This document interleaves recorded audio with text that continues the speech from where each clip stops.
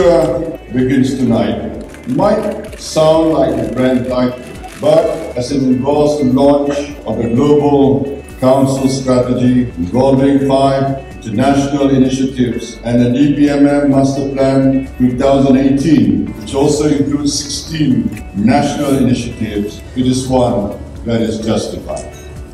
We all know that DPMM and NCCIM have a long track record in being a key driving force behind Malaysia's economic achievements. Your powerful messages of unity bodes well for all the chambers of commerce throughout the nation to work together as one cohesive force to make the most of the tremendous possibilities today.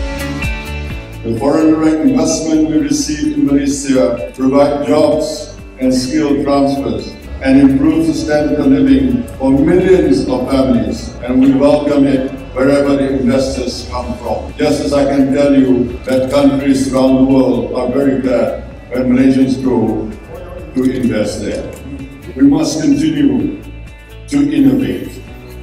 We must embrace new technologies and new ways of thinking. And we must always be thinking of how we can make our skills more cutting edge and our people more qualified for the new economy of this century.